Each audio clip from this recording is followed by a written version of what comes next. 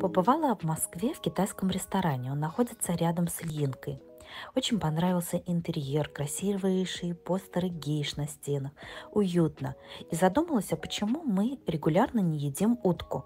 Именно такое блюдо мы взяли в китайском ресторане. Увидела из плюсов мясо красное, в отличие от грудки курицы. К тому же утка активно бегает и плавает, а значит богата железом, которое так необходимо для синтеза гемоглобина. Второе. Витамин А в утятине вдвое больше, чем в других видах мяса. Утка очень хорошо для детей. Насыщенный жир важен для развития при недостатке холестерина, для развития гормонов в подростковом периоде и, конечно же, головного мозга. И, конечно, это источник белка, хоть и белка в разы меньше. Нам принесли половинку утки, и одна часть была более мясная и более приятная для моих вкусовых э, рецепторов, а другая часть была слишком жирная внутри. Есть минусы.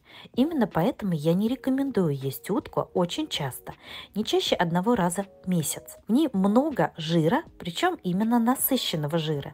Вы не видите этот жир, потому что у утки он внутриклеточно. Именно это позволяет утке длительно плавать в ледяной воде. В 100 граммах ее кожи содержится около 600 килокалорий, почти это 64 грамма жира и всего лишь 9 грамм белка. Например, в говядине будет 23-28 грамм белка и где-то 35 грамм жира. При дислепидемии и атеросклерозе нужно ограничивать утку. Из-за невидимого жира все же она будет плохо перевариваться, особенно у людей, у которых уже есть нарушение желчи оттока и снижение функции поджелудочной железы. Ну а на фото, где я сижу на фоне уток и скорой помощи, как будто бы хочется сказать, ешьте утку осторожно.